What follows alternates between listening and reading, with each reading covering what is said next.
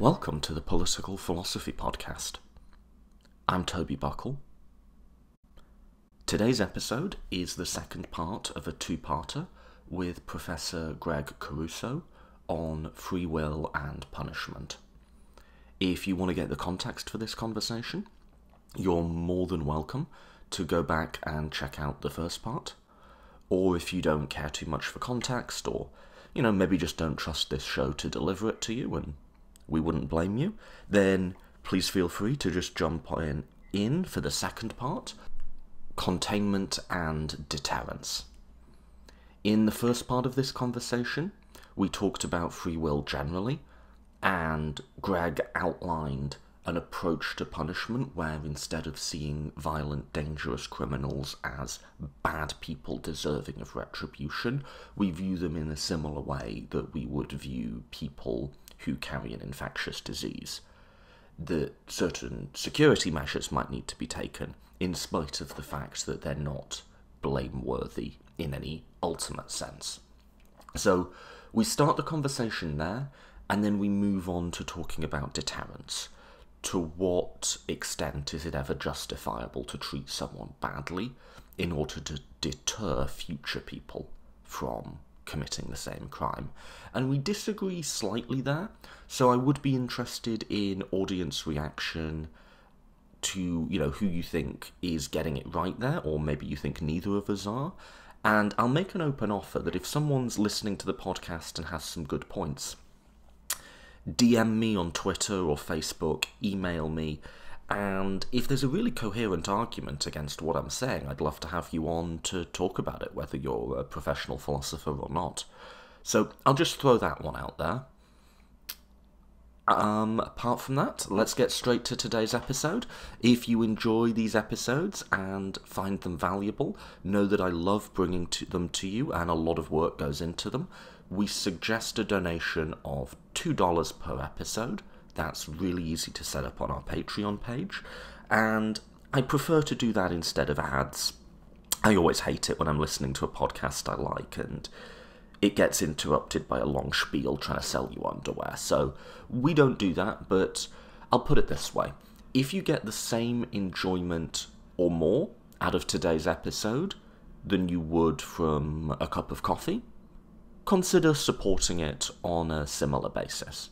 Now, maybe where you live, a cup of coffee isn't $2. I live in New York, so $2 is actually a pretty cheap cup of coffee. But do the math, whatever a cup of coffee is to you. And if it's worth that, we would love to have it. If you like the show but aren't able to donate, sharing it on your own social media is also a great way of supporting it. So, with that as preamble, it is my absolute pleasure to bring you, for a second time, Professor Gregg Caruso.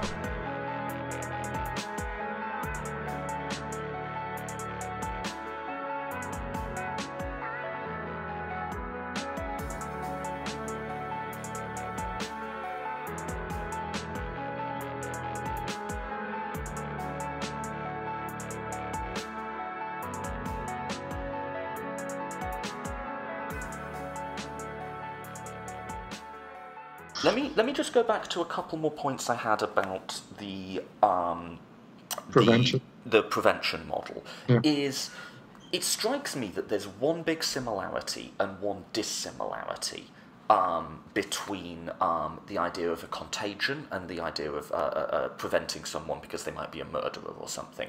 The one similarity, and this is more of an intuition than an argument, is what I call the eyeball test of ethics, which is could you look someone in the eye who is worst affected by this ethical rule and comfortably explain to them this is what needs to happen to them?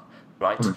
So I saw this is this seems like a lateral move, but I'm going to bring it back in. I saw this wonderful documentary where a brown-skinned Muslim woman goes and interviews neo Nazis and white supremacists, and sort of spends time with them and becomes their friends, and eventually just asks them, so you know, you want to kill N words or deport them or whatever. Would that apply to me, who you've been spending time with and you call your friend now? And the level of discomfort that they have is mm. beautiful and amazing to watch because they have these intellectual and ethical commitments, but they can't bring themselves to say it to, to the face of someone who they see as a human being. And mm. that should just be an obvious flag that you've got something wrong ethically. Now, mm. What I like about the quarantine model is if, say, you did, like in your example, contract a infectious disease and we detained you and you said to me, This is completely unfair, I'm going to lose my job, this is hmm. like. I, I don't like it. I feel I could completely comfortably look you in the eye and said, I hmm. hear all that and I'm really sorry for that, but hmm. people are going to die if we let you out. And that just sure, surely you have to see that that overrides it.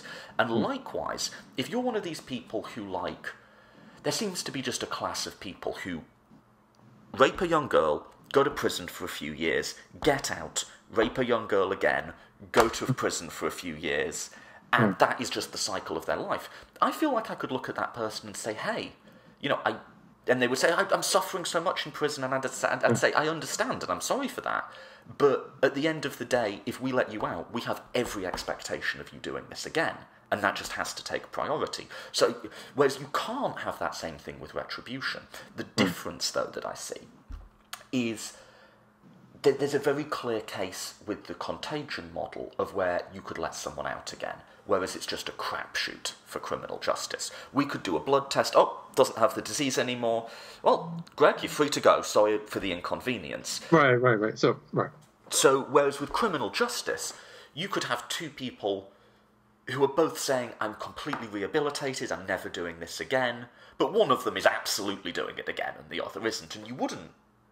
It'd be much harder to tell, right?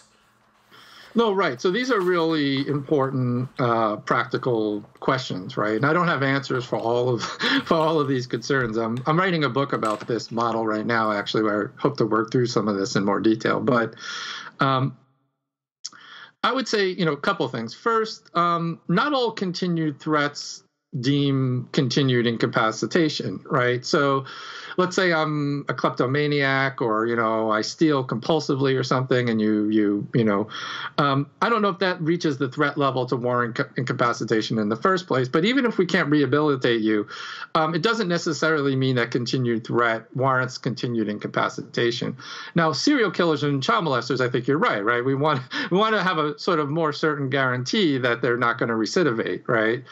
Um, and there are concerns here. I tend to lean towards less restrictive than more restrictive approaches to this, right? So if you look at, say, um, Norwegian systems of criminal justice that are not free of retribution, but they moved more towards this model of rehabilitation and reintegration, um, the max sentence you could get in Norway is, I think, 21 years for anything. Um, and it stretched the the um, credulity of some Norwegians when they had that serial killer who shot all those kids at that um, uh, at that summer camp, I think it was, um, and all they could give him was 21 years. Um, now, what they can do is add incrementally five year increments after that because what they have is mandatory reevaluations within the system. So most people in Norway, the, the average sentence is less than a year. Um, and and most the majority of, of people that are imprisoned don't serve more than I think four or five years. Um, and the max you could get is say 21 years, even for the worst heinous crimes. Um, what I would implement, and there's no perfect solution to this. What I would implement are more um, interventions along the way. Obviously, a focus on rehabilitation, which we lack completely in our system now.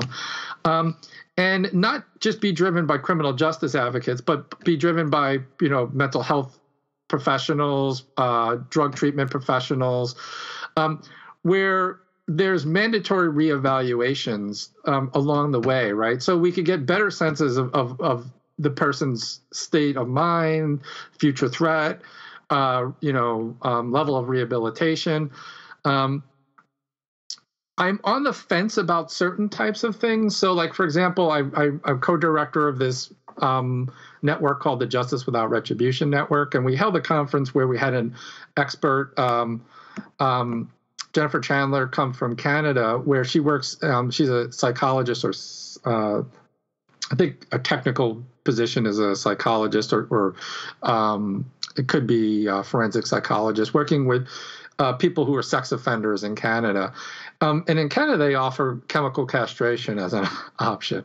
And my first intuition is, oh, this is a horrible uh, option to to offer someone. Um, now, I haven't looked that much into it, and I don't know the rates of effectiveness. One of the things that it it benefits is that it's it's reversible. Um, so it's not a permanent. It does have side effects. But so this little... is where this is where I just become the stereotype of what everyone fears utilitarians are of just uh-huh. not caring about persons is uh-huh. cool if it worked. If it worked. Right. What I worry a little bit about is the the forced consent component. Like if you know, I could I could hold you indefinitely, or you could accept this kind of you know procedure. How much is is true consent here present? But the, if these people consent to it, um, and later, and some of her work has shown that later they are satisfied with their decision. So five years out and they haven't recidivated, for example, most many of them report that they lose their desire. Um, in some cases, you lose all your sexual desires, but um, they lose their desire for offending. Um, some people actually report that it, they believe it brings them deeper in line with their hierarchical self. So they had this lower order desire to uh, sexually uh, or you know offend, but they had a higher order desire that disapproved of it. Right? They didn't approve of their sexual desire, um, and that accepting this kind of treatment option allowed them to to put in line their higher order and lower order desires. Um, I'd be open to those uh, as options. I would need to look at them, and I'm going to look at them in more detail um, because there might be other ethical concerns that just override these um, uh, issues that I'm talking about at the moment. But um, if these were effective and these were uh, legitimate options that reduced incarceration, um, and they were effective in protecting public safety and that they were voluntarily chosen, um, I begin to have less and less ethical concerns about them. So I, so I'd say other, yeah. the other thing is that technology is just te- the rate of technological increase is exponential, and the technology is just going to get better and better and better. Hmm. So, like chemical castration is quite crude, but Sam Harris has this idea of what if you just had a pill that cured psychopathy? Yeah. Right. Like, how bizarre would it be if, if the worst like serial killer, you could just give them a pill that cured them. Do our, they still deserve? Yeah. Our current moral intuitions yeah. would find it bizarre to just give them it, but then he says, yeah. what perversity would mean that you wouldn't cure someone of psychopathy if you could, out of a desire to punish them? Yeah, yeah. Like ultimately, the, the moral technology is going to get us to a place where we've just got to break these moral intuitions because right. otherwise they're going to hold us back from being able to use things that are going to make everybody's life better. Right, and so this reminds me of a tough case for my model, which uh, someone has risen as an objection, which is like the 90 year old Nazi. So let's say there's this Nazi um, who um, was not captured after World War II or brought to justice. Um, and he fled to South America. He went to Argentina somewhere. But since the war has ended, he's been a model citizen. He's been a good member of his community. Hasn't um, engaged in any antisocial behavior. Um, um, so we have now, you know, 50 years of of of you know behavioral baseline that he doesn't he hasn't you know posed a threat to society and now we hunt him down and we locate him in his 90s um, you know, does this person need to be given their just desserts? And, you know, I think a lot of people's intuitions is that something needs to be done. But my model dictates, you know, that um, if the person poses no future threat to society and then 90 years old, um, and, you know, 50 years of, of, of good behavior indicates he probably has, you know, very low, if not, you know, zero uh, um, rest, poses zero rest to society. Um, do we punish him or do we imprison him? And I might just bite the bullet and say no. I mean, I, I, I um, I, you know, there might be something that needs to be done in this case um, to recognize the immoral nature of the act um, and to uh, compensate the victim. So um, maybe there needs to be a process um, of. Uh, you're going to talk to Tamler Sommers, uh, you said in your next podcast. So um, he he's a big fan of this uh, model so maybe a process of restorative justice that engages in the the you know uh, descendants of the victims um, and and you know this individual um, can be justified, but incapacitation on my model couldn't be justified. If you're a retributivist, it doesn't matter. It, it, it doesn't matter at all what the future uh, threat of this individual is, what you know, con, you know, what threat they pose to society. Um, it's all about backwards looking blame and retribution. I could think of a, a, a rationale for um, punishing the 90 year old Nazi that wouldn't involve retribution. Here's one thought I would have on the 90 year old Nazi is I said I thought there were three justifications for punishment.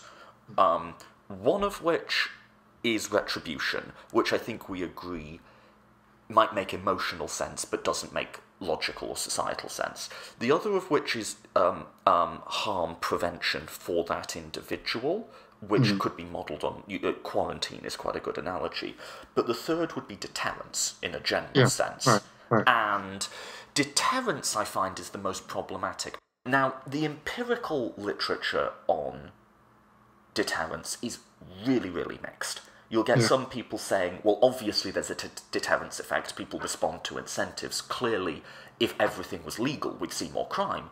And then you get some people saying, actually, it's more about social conditioning, and most criminals don't really do stuff in a truly voluntary sense anyway, and that actually there's no difference between, say, the death penalty or life in prison. But on a theoretical moral level, deterrence makes a mess of the whole moral theory. Because if there is a deterrence effect, then we, uh, if we're going to be consequentialists, we have to start taking that into account. Now, that might have intuitive things, like there might be a case in terms of deterrence for some sort of punishment for the Nazi because it shows people who might be committing war crimes today. No, no, look, there is a thing such as international law. We one day we will eventually catch up with you. So it's right. a net good on that count. But then it leads you to really unintuitive things, like if you could save future murderers by executing people or by collective punishment, then that would come onto the table too. So, yeah. yeah so let ahead. me jump in and say a couple of things. So, first of all, you know, consequential, forward-looking deterrence models are totally consistent with free will skepticism. They're not my desired justification, though, and I have some concerns about them. And I think maybe this is where my model has some advantages over the over these kind of uh, uh, consequential deterrence accounts. Um, my fear is that the justification of deterrence on consequentialist grounds runs into objections that are pretty familiar with that are you know presented against utilitarianism in general. Um, something like the use objection which is that you could use individuals in certain ways if they were effectively to act as deterrents. So like if there was a you know crime spree that was occurring and that we if we just came down really harsh even disproportionate punishment on just a few people, it might effectively deter. And if it were to be an effective deterrent, consequentialism would maybe perhaps justify it. Yet our intuition might be that that harsh treatment or excessively harsh treatment wasn't you know isn't justified to fight despite the fact that it's an effective deterrent. Just, just to come in quick here, I've actually got a whole podcast on this. Um, yeah. The second podcast with Cecile Fabre, um, Execution, Torture and War, which is as light-hearted as it sounds. But then, then there's two levels to that, though. If what you're talking about is a disproportionately harsh response, then so th- there's a consequentialist ground for maintaining a universal rule of law Right. That's right. So, so there like, might be ways so, you can so, get around. So, like, right. you, do you execute the innocent man to save to prevent a riot that will kill ten people? Well, no, because in practice, if you're going to start making decisions like that, if not in theory, in practice, that will lead to just a breakdown of the justice system, which we could argue would be bad overall for consequences. Right. And then non-consequentialists will say, oh, but what about if we construct this really weird specific scenario where no one right. would ever find out and it doesn't affect mm-hmm. general enforcement? To which my response is you ask a really weird and stupid question, you get a really weird and stupid answer. Like, yes, yeah, in that case that would be justified, but that's yeah. Virtually never going to be the case in the real world. And even mm. if it were, because of imperfect information, you'd never know that you were in that case. So right. the general rule applies, but that doesn't let you off the. Let me give you. You get. And you, could say the same thing. You could say the same thing against uh, uh, you know, um, finding innocent people guilty of crimes if they were effectively deterrent, because you could argue that on a larger consequentialist calculation, that wouldn't be overall uh, beneficial. Yeah. Right. But that general thing, and again, I think most people come from the point of view of our moral intuitions are correct.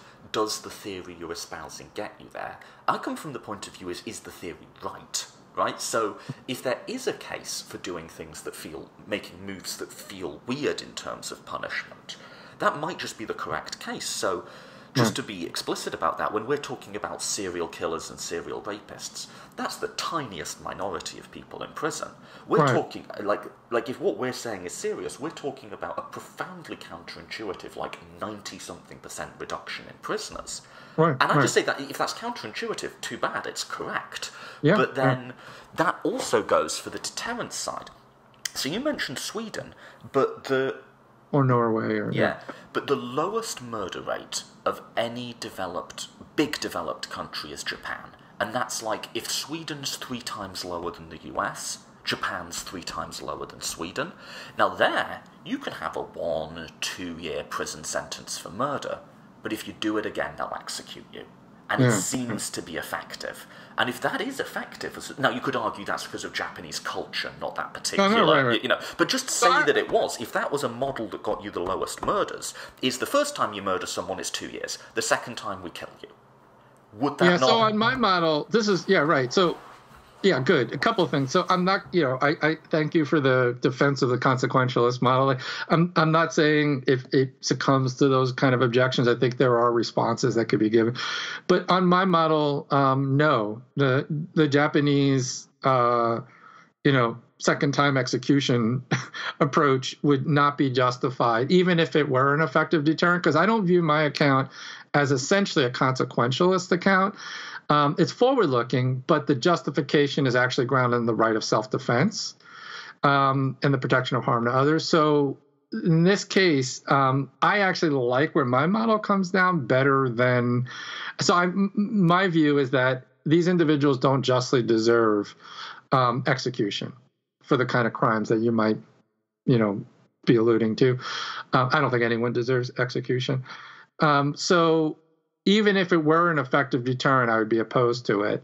And I think and I think you, that's the right place to, to be. bringing in some sort of deontology that, that, like you say, that's not a consequentialist worldview. Right. So I do have deontological components of my theory where I think I could, I think I can defend them on on certain grounds. Right. So, um, like, so I have a so in terms of my prevention and social justice component of my theory, the social justice theory that I favor here is a uh, capability approach, kind of like Nussbaum and Sen, um, where the goal of social justice is to um, to effectively allow for certain kinds of capabilities that lead to human well-being, and I identify sort of like six of them: health, reasoning, self-determination, attachment, personal security, and respect.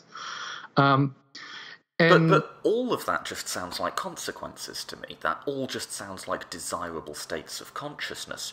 Whereas to well, make no, to... things like respect for me and um, these are these would override certain kinds of utilitarian or consequentialist concerns for me at least. So.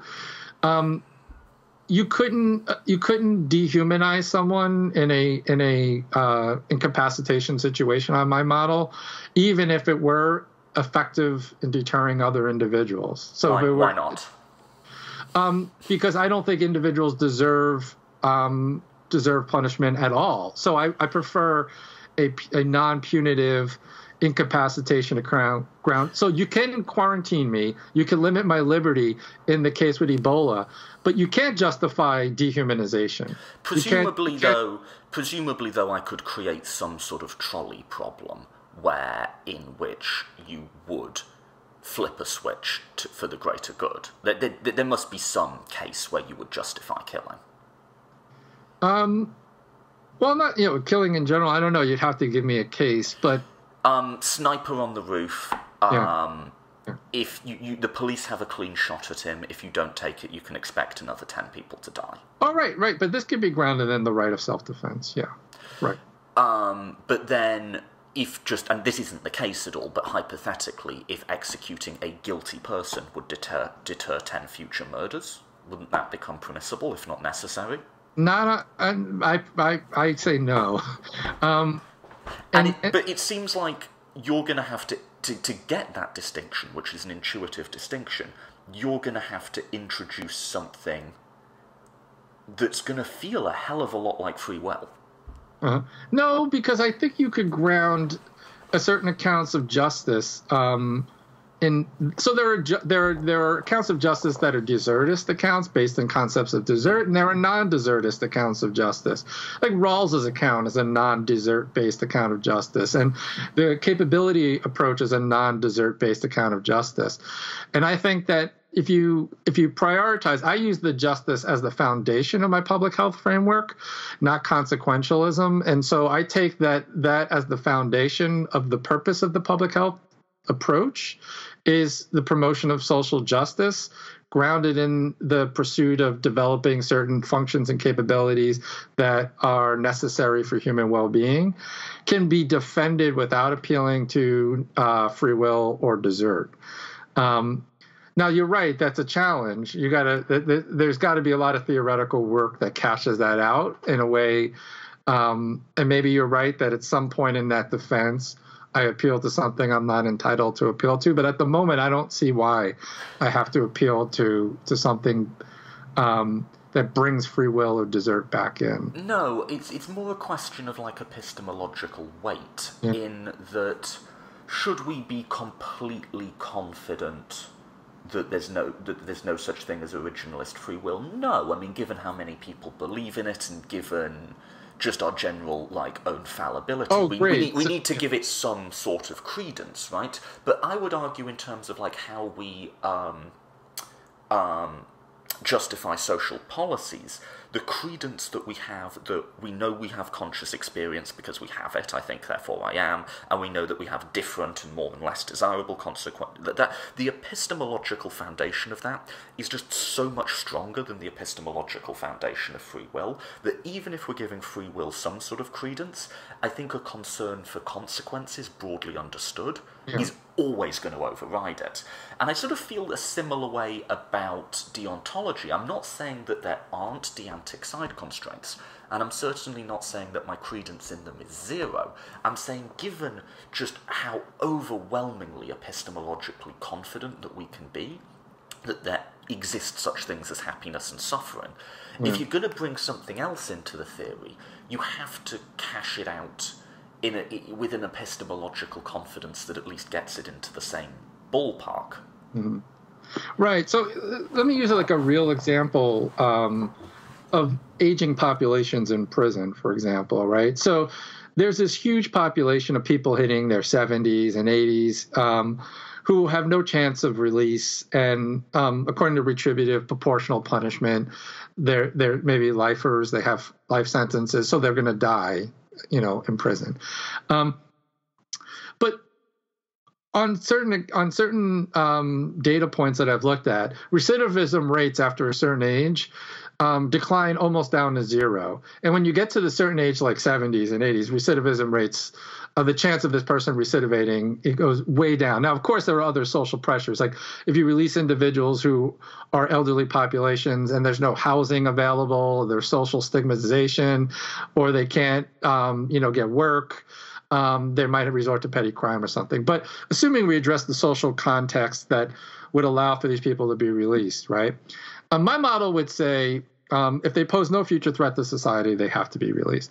My concern with even a consequential deterrence model is that there might be there might be i don't know maybe you're going to give a counter story but there might be a story that could be said that well look it might effectively deter individuals to have um, a kind of you know a model looks very much like retributive proportionality, right? Where, as a general rule, we have certain sentences for certain crimes because this, on the long run, will work effectively to deter individuals from committing murders. And that might mean that certain 70 and 80 year old people who pose no threat to society should be continued to be incapacitated. Um, and that's where I think me, my, my, intuition and your intuition are going to split. You're going to let. I, I, I don't know that it's an intuition, though. I feel like it's just an empirical question that has an answer answer, and it's a very complicated empirical question, but our, our intuitions are just um, what the answer is. So, is the total amount of suffering of keeping people in, say, once they're past 70, um, is that outweighed by the amount of suffering that could be deterred by so doing? Actually, my intuition would be in that case, the deterrence effect wouldn't be enough to justify that additional suffering. Now, but, but there, is, my- there is just an answer to that question, but though. we, we are we both are bottoming out empirical questions, but they're different questions. Yours is this overall calculation, which is an empirical question. Mine would be whether the individual poses any future threat, and that's the empirical question. If you answer no, that overall consequential calculation um, wouldn't factor into my theory. So. oh, but but so wait. So, so on my theory, it's like on my theory, if this in, on an individual basis, if that individual, individual X poses no future threat and he's a certain age, I say release him, even if it runs contrary to your empirical question, which would be on the overall balance of things, maybe it would be better. Let's just say hypothetically, the empirical question came in favor of holding him. I would say you have to release him. You would say you're justified in continuing to hold him. Okay, so let's dig in here because this is interesting. We Yeah. have a hypothetical individual who's 70, who's killed 20 people, but we know is not going to kill again. Say he's in a wheelchair and asthmatic, and he's like, this, you know, like they just, they, they- we right, know, yeah, yeah. He's I mean, know- physically capable of, yeah, yeah, yeah. we know that he's not, you know, doing anything. And then I say, but we also know, and I don't know, and this is where it breaks down, and I think where the intuition the other way comes is I have no idea how we could gain this knowledge, but just say Yeah, that yeah. we could. Yeah. I know for a fact that one future murder, which I count as a greater moral weight than the rest of his life, one future murder will be deterred if we release him because of de- deterrence effects. You would say still release him. yeah. Okay, I'm going to ramp it up. Ten future murders. Um, right, because yeah, uh, because I don't think you could hold this individual accountable for the actions of others, or I don't think you could exert punishment on this individual for the actions of others. So I put a heavier weight on liberty, I think, than you do in this case. Ten thousand future murders. I think I'm going to stick to it. The death of all conscious life, including the individual himself. Well, look, I mean, at the at a certain point, I think you know it comes to a question of like, do I think it's deserved or justified? I'm going to continue to say no, no matter how many people. If you ask me whether we should override that moral constraint uh, in these extreme cases, you know, I might succumb to that, but I might say that it doesn't justify it. Cécile Fabre gave me the exact same answer when I yeah. pushed her on that. Yeah, um, yeah.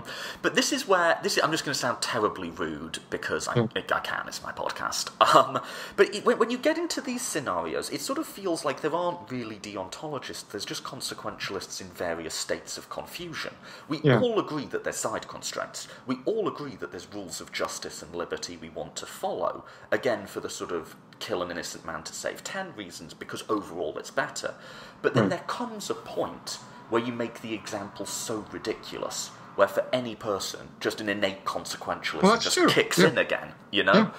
And so we, were- it, it seems to me, but like, you can get to all of that just through consequentialism, just through like we want to observe rules for the sake of observing rules. But then hmm. there does come a point where everyone just throws up their hands and goes, "Fine." Like I think one of my foundational ethical commitments would be I think torture needs to be prohibited, but hmm. to stop a nuclear war, maybe, you know. Yeah. No, no. I, I mean, I, I, I get the intuition. Um, I'm just saying that I'm grounding my theory in in in something other than deterrence. So we do have these differences. I think you know, in cases like this, in cases like Yeah, this. I mean, I think deterrence as a matter of practicality shouldn't be primary, right? Because I think Right. the empirical Well, evidence is so mixed. Because I think my account could get deterrence on the cheap, if you will, which is um, which is that it's not the justificatory force that is accounting for the incapacitation, but I would argue that you know by just limiting one's liberty, you buy a secondary property, get some deterrence. I think. Um, but I, I, I don't see how, at least on my approach, um, you could take deterrence as the as the primary justification.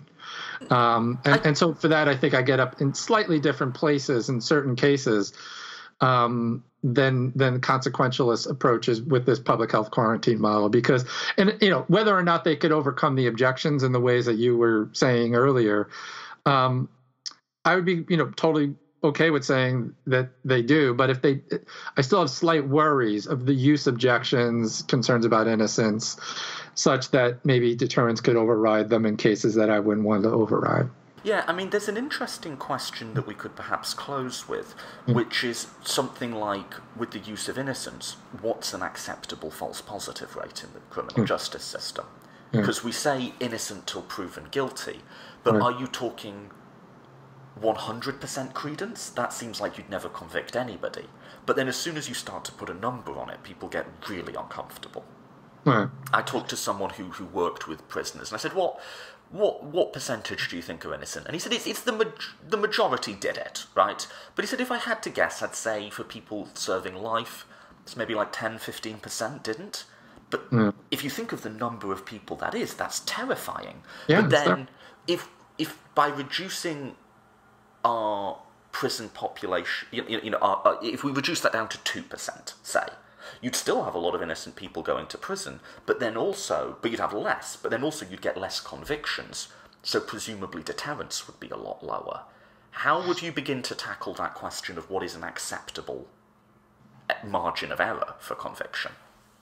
Well, I, I think the all the so so for me, if you were to look at the actual way a trial might be conducted, the guilt or innocence phases. So, for example, state of mind is an important mens rea in criminal law, is an important condition. You know, um, what I would say is that all those compatibilist things we talked about earlier voluntariness reasons responsiveness compulsion are all important but they're important at a different place.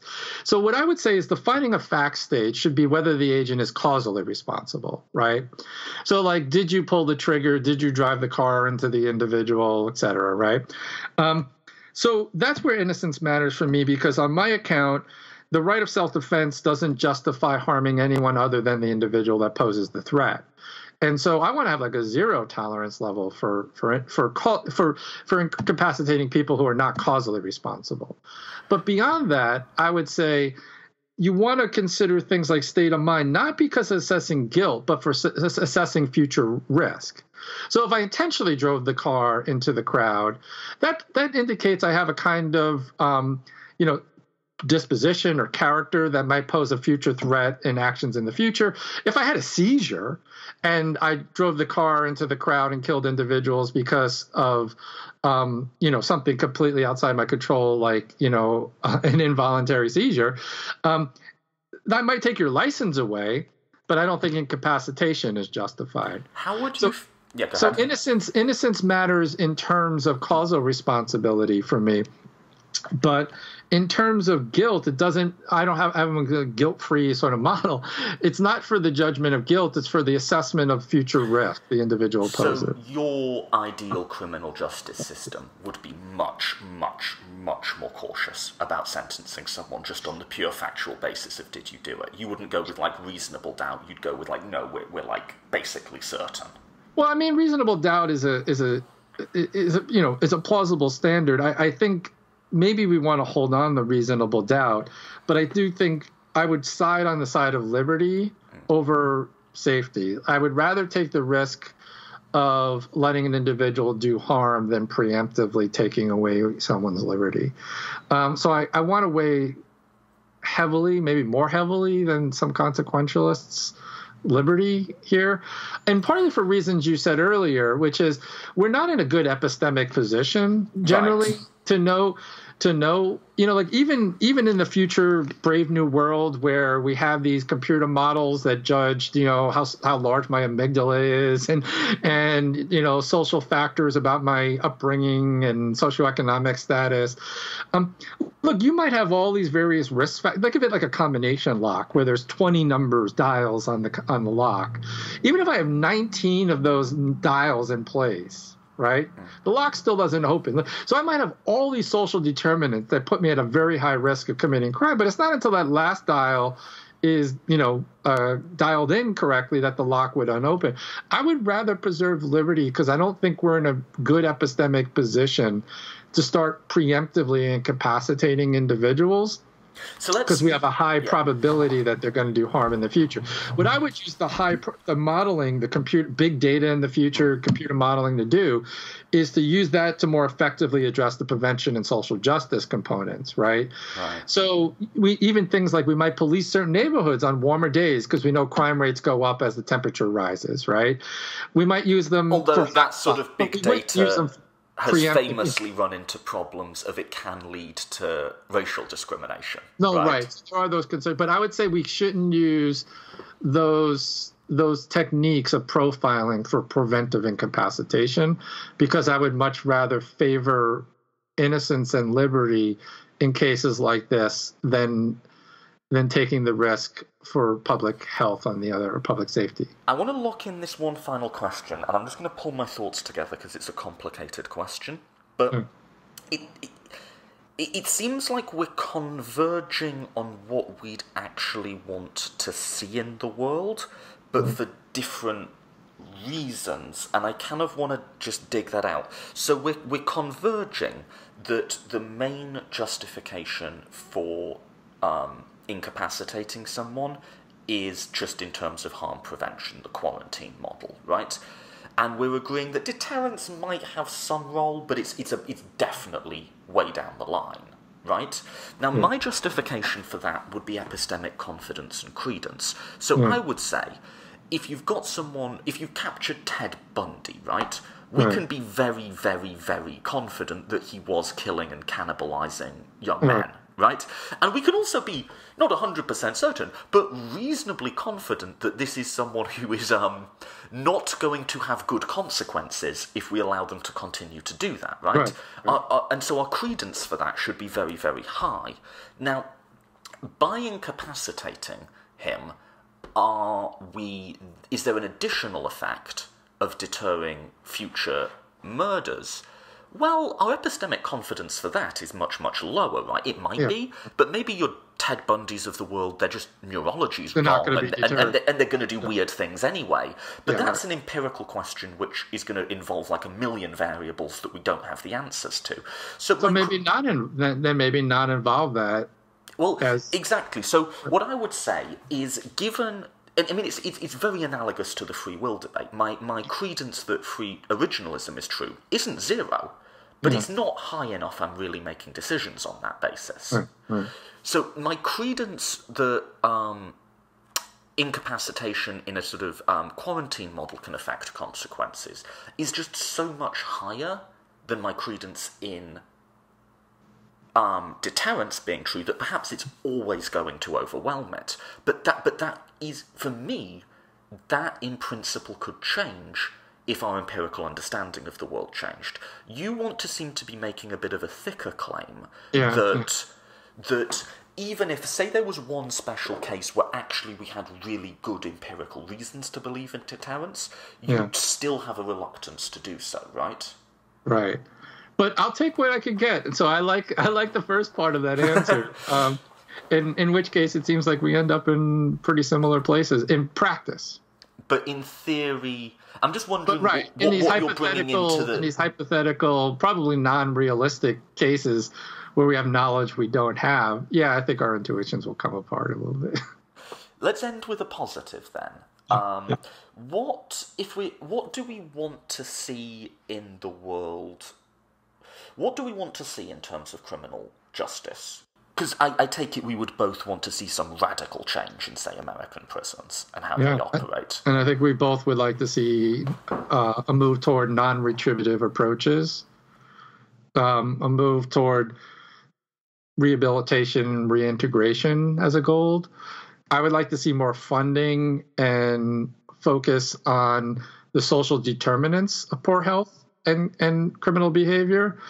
Um, and so I think social policy um, would weigh differently. Um, if we took this kind of framework because I think we would recognize that we have some kind of a moral obligation to address some of the social inequalities, racism, sexism, economic inequality, um, systematic disadvantage and disenfranchisement in certain communities because they're drivers of, of criminal behavior and poor health. Um, um, now it's really, really hard though to get over that hurdle and move people to to effectively get behind that mission if they are holding on to the intuitions of retribution this, and individual individual blame. Such a case of where philosophy matters and like matters political philosophy matters because what, what's holding us back isn't a practical impediment. We could release half of the people in prisons tomorrow, right? Yeah. What's holding us back is a misunderstanding about the way reality works. Yeah. People think they're the ultimate causes of their actions, and there's mm. just no particularly good reason to feel that way, right? Like, this is so where philosophy matters. Yeah, and this is why I, I really do think that um, real reform is going to need to look at some of the philosophical roots of our of our accounts more than just surface reform. I mean, I think you're going to find a lot of people moving towards surface reform, and you've seen a movement from the left and the right um, in an agreement that we need to do something about mass incarceration, but for drastically different reasons. Conservatives and libertarians are worried about cost and and and what the effects are on the state level and things like that. Liberals are concerned with certain things about justice and fairness here. Um, but I, I, I think that you you can't have real criminal justice reform without a real look at this question of of individual um, you know free will and, and responsibility. And and matters of luck. I mean we just have to realize that um, a good deal of who I am and how I turn out have to do with factors that are just completely beyond my control, that are just matters of luck. I I just am lucky to have been been born white and male and middle class, and so um, have ended up to be lucky to be here talking about philosophy and have a PhD and teach college. I don't think I deserve praise for any of those achievements, just like I don't think I deserve blame if I ended up in a, a war torn region of the world and found myself in a position where I was forced to commit murder to survive. Once you recognize this kind of causal chain, um, we could better address criminal behavior by effectively addressing the causes. And I think that we got to get past the barrier of of you know um, individual responsibility um, before we can really do that because I think it's a barrier for looking for deeper causes. By look by focusing on individual responsibility, it sort of allows us to stop looking at that point. We just need to look at the individual. Um, and even the criminal justice system, we might have to look at a certain time slice of the individual. What was their state of mind at the time of the crime? And then you stop looking. You don't look at how they got to that state of mind, um, the conditions that drove them that developed that kind of, you know, characteristic, that kind of personality, that kind of set of wants and desires and, and psychological predispositions. Um, and I think we the, you once we get rid of retributivism and once we get rid of the notion of just deserts, we could look more deeply into the causes and more deeply into the systems that shape individuals. Cool. If people want to follow you or see more of your work, where should they go? Um, you can follow me on Twitter um, at, at uh, Gregg D. Caruso. Um, or you could um, look me up on my websites, which are www.gregcaruso.com and www.justicewithoutretribution.com. Cool. Well, that was a really good, long, sustained conversation. Thank you so much for your time, Gregg. Thank you.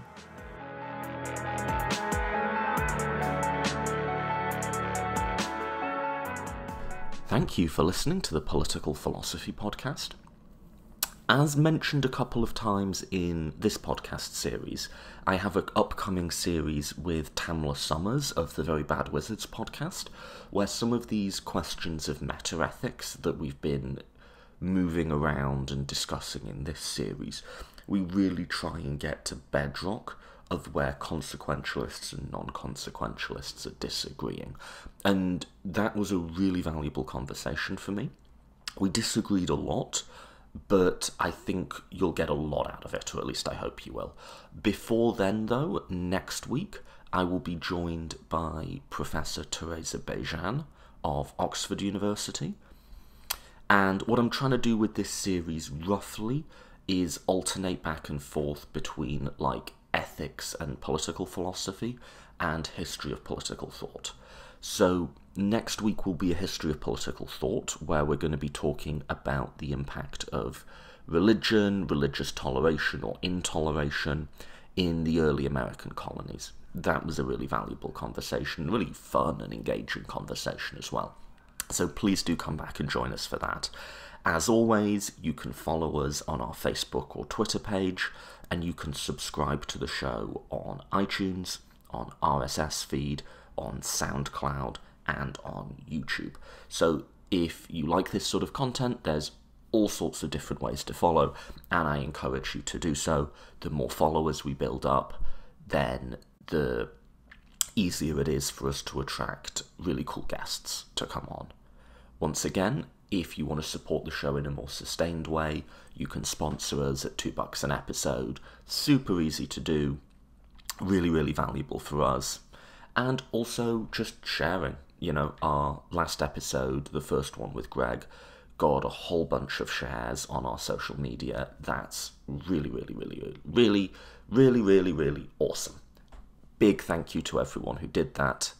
And yeah, apart from that, thank you for listening to the show.